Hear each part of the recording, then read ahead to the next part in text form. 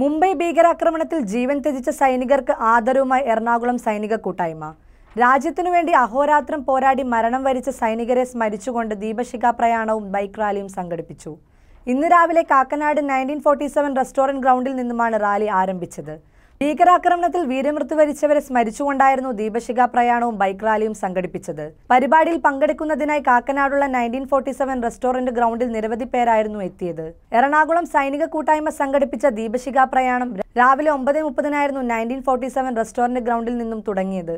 ഇതോടൊപ്പം ബൈക്ക് റാലിയും നടന്നു. സംവിധായകൻ മേജർ രവിയായിരുന്നു ദീപശിഖ പ്രയാണത്തിന് തുടക്കം കുറിച്ചത്.